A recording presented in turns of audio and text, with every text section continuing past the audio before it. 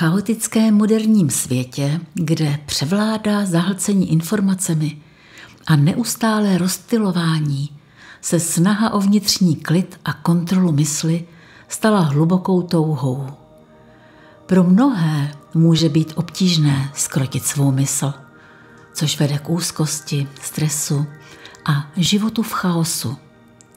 Přesto existují lidé, kteří si osvojili umění proplouvat rozbouřenými vlnami vlastních myšlenek a nalezli klid uprostřed bouře. Tito lidé objevili cestu k ovládání mysli a odemkli si dveře do říše klidu a sebeuvědomění. A v tomto příběhu i my nalezneme ponaučení, jak můžeme ovládat svou mysl. Kdysi dávno žil v malebném odlehlém údolí, zasazeném mezi vysokými vrcholky, moudrý a klidný starý mnich jménem Chang. Byl široko daleko známý svou schopností ovládat mysl a nacházet vnitřní klid i uprostřed neklidných životních období. Lidé ze všech společenských vrstev vyhledávali jeho vedení na cestě k dosažení klidu. Jednoho dne přišel do kláštera mladík jménem Livej a hledal radu mistra Changa. Livejova mysl byla neklidná, rozpolcený úzkostí z minulosti a nejistotou z budoucnosti doufal, že mu uctívaný mnich pomůže najít útěchu a kontrolu nad svými myšlenkami. Když se Livej blížil ke klášteru, uchvátila ho krása přírody, která ho obklopovala. Jemný vánek přinášel vůni polních květin a šustící listí jakoby šepotalo slova moudrosti. Livej se zaujetím zeptal mistra Changa. Mistře, jak ovládáte svou mysl a nacházíte v tomto chaotickém světě takový klid? Chang se srdečně usmál a pokynul Livejovi, aby se posadil vedle něj.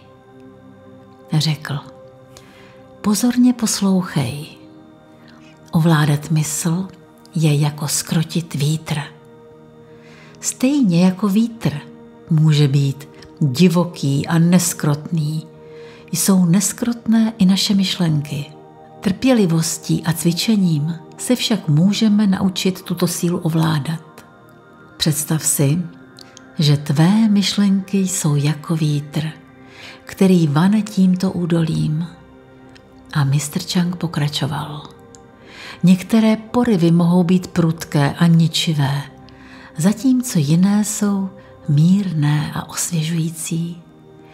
Klíč k ovládání mysli spočívá v pozorování těchto myšlenek, bez posuzování.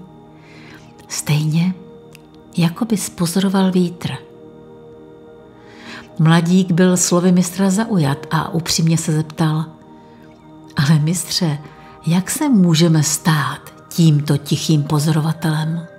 Zdá se, že moje mysl je v neustálém zmatku – Chang vědoucně přikývl a odpověděl. Začni tím, že se soustředíš na svůj dech. Když se nadechuješ, plně si to uvědom. A když vydechuješ, buď zrovna tak přítomný.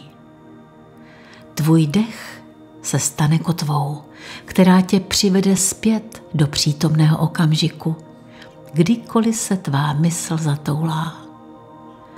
Následně Chang předvedl, jak se zhluboka a pomalu nadechuje a Livej ho následoval. Jak společně dýchali, Livej postupně cítil, jak ho zaplavuje pocit klidu. A nyní pozoruj své myšlenky, jak přicházejí a odcházejí stejně jako větry procházející tímto údolím. Poradil Chang. Některé myšlenky mohou být bouřlivé a zdrcující, zatímco jiné jsou jemné a prchavé. Klíčem je na žádné z nich nelpět, ale nechat je plynout jako mraky na obloze. A jak tak seděli v tichu, Livej si všiml, že jeho myšlenky odplouvají jako vítr a začal pocitovat nově nabitý pocit svobody ve své mysli. Mr. Chang se pak podělil o další zásadní poznatek. Tvé myšlenky jsou jako vlnky v rybníku, když je voda rozbouřená. Vlnky zkreslují tvůj odraz. Když je však voda klidná, vidíš se v hladině zcela jasně, jako v zrcadle. Stejně tak, když je tvá mysl rozbouřená, je tvé vnímání zakalené. Když však nalezneš vnitřní klid, uvidíš svět takový, jaký skutečně je. Livej byl hluboce dojat moudrostí slov mistra.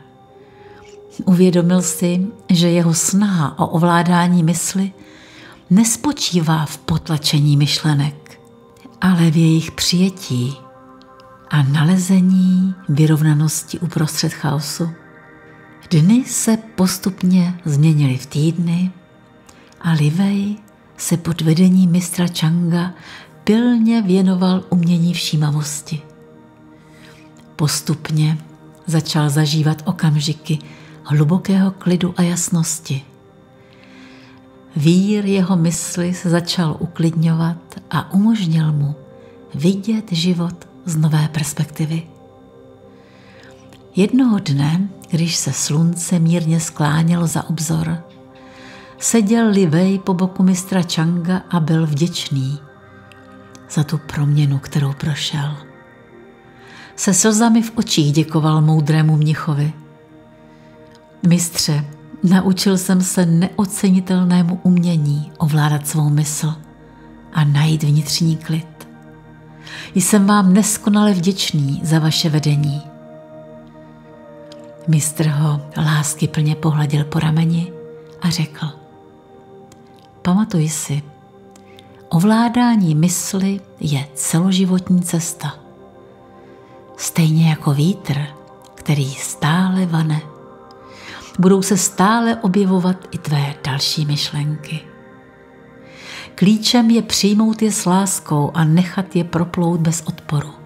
Když se na noční obloze začaly třpitit hvězdy, seděli spolu Livej a mistr v klidném tichu, spojeni nejen slovy, ale hlubokým pochopením umění ovládat mysl.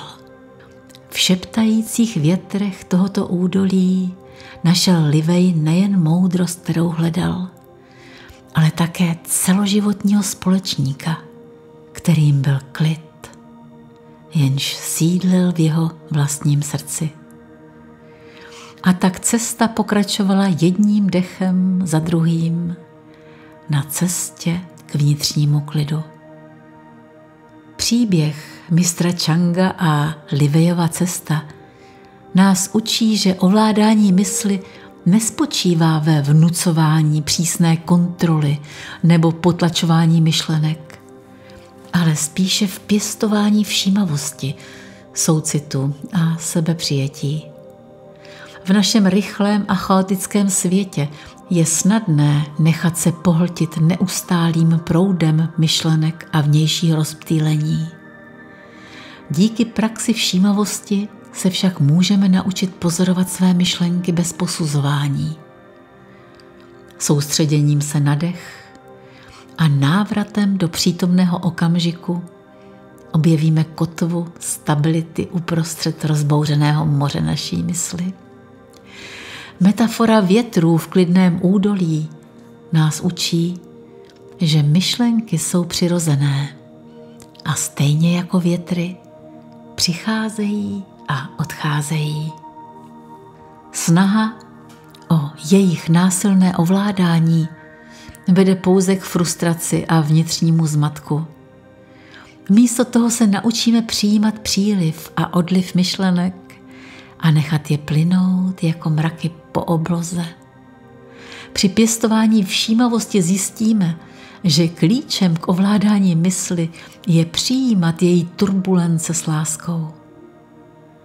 Stejně jako klidný rybník jasně odráží svět, klidná mysl nám umožňuje vnímat realitu bez zkreslení a umožňuje nám procházet životními výzvami s jasností a moudrostí.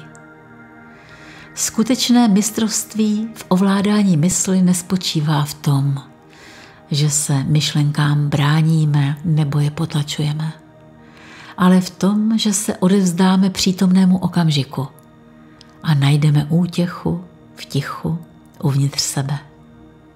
Cvičením v přijímání sebe sama a soucitu se sebou samým můžeme proměnit svůj vztah k myšlenkám a dosáhnout pocitu vnitřního klidu, který přetrvá i uprostřed životních bouří.